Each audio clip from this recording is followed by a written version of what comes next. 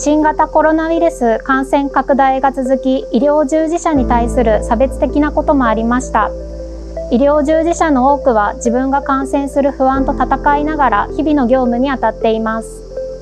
応援や元気づけられる言葉をいただけると大変ありがたく力になります。また、新型コロナウイルスに感染してしまった人たちも病気と必死に戦っています。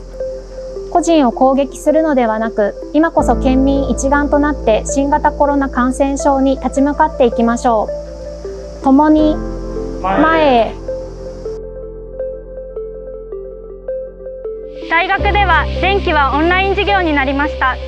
日々新型コロナウイルスに関するたくさんの情報を耳にします。SNS などでは感染された方やお店に対しての心ない言葉を見かけることがあります。誰かを傷つけてしまう情報を書き込んだり拡散したりしないよう思いやりの気持ちを忘れずに SNS と付き合っていきたいです。正しい情報をもとに皆さんで助け合って乗り越えていきましょう。新型コロナウイルスの感染拡大に伴い職場などで外国人に対する差別や不礼儀な扱いが伝えられています。私は静岡県に住んでいますが静岡県の人たちは温かく接してくれるおかげで助かっています。ありがとうございます。ゴールが見えず辛い状況ではありますが同じ静岡県民として一緒に頑張りましょう。4月に緊急事態宣言が発令された際には宿泊のキャンセルなどがありお客様に対しても申し訳なくやりきれない気持ちでいっぱいでした。今こうして営業できているのも病院関係の方々や運送業の皆様の協力があってこそです。周りの方々に感謝の気持ちを忘れずに頑張っていきましょう。皆様と笑顔で会えるのを楽しみにしています。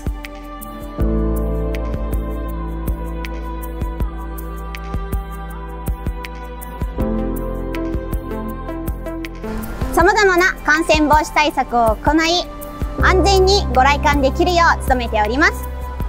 トレーナー動物ともに元気に皆様をお待ちしております。誰にでも感染リスクのある状況ですのでお互いの人権を尊重し合いましょう。新型コロナウイルス感染拡大の影響で飛行機を利用されるお客様が大幅に減少していますが地方と地方を結ぶ交流の架け橋としてご移動が必要なお客様に感染防止対策をしてお待ちしております。皆様にとっても大変な状況ではございますがだからこそみんなで協力しこの危機を乗り越えましょう。大切なお仕事のために大事なお子さんのそばにいられないお父さんお母さんがいます。そんなお父さんお母さんがお仕事に励まれている間大事なお子さんの保育は私たちが責任を持って行います。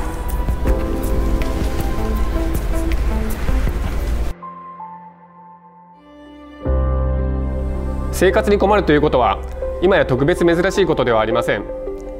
そしてそれは悪いことでも特別非難されるべきことでもないはずです。いかに SOS を発し支援につなげ解決していくかそれが重要だと思います。私たちは SOS の受け手として偏見差別の心を持つことなく困った時はお互い様の精神でできる限りの応援をしていきたいと考えております。この困難をみんなで乗り切りましょう。障害のある人もない人もこのコロナ禍の中みんな頑張っています。感染症対策にはソーシャルディスタンスが重要と言われてますが障害のある人の中には解除のために接近をしようとする人も大勢います。また聴覚障害者はマスクをしていると相手の話している言葉が分かりづらくなります。いろいろな事情ある人がいることを理解し一緒に差別や中傷のない共生社会を目指していきましょう。本県においても SNS などで感染者やその関係者に対する個人の特定や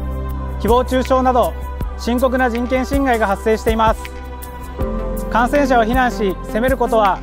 感染拡大の防止に何の役にも立たないどころか検査を避けることでかえって感染を拡大させてしまう恐れがあり不安の解消にはつながりません。一時の感情に流されて感染者を非難する前に一呼吸置いて非難されている人の立場に立ってその行為の結果を想像してみましょう。感染拡大防止のため県全体がワンチームとなって共に頑張りましょう。ともに静岡